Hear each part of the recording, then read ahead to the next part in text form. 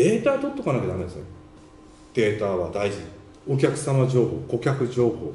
それから製品がどれだけ売れたのかどの期間でどういう人にアンケート調査も大事です。どういう人に支持されてこの商品が売れたのかっていうことも大事なんです。商工会議所がこういうアンケートを取ってこういうふうな動きだということが分かったっていうのはこれ立派なニュースです。札幌近郊全体に及んでるんじゃないかって話になったらこれは全道ニュースになる。そうするかどうかは最初の一本の基地が出たことによって他の支局長たちあるいは札幌本社の人間が他の支局長たちに命令をしてそれが本当だとしたら全体の話になる。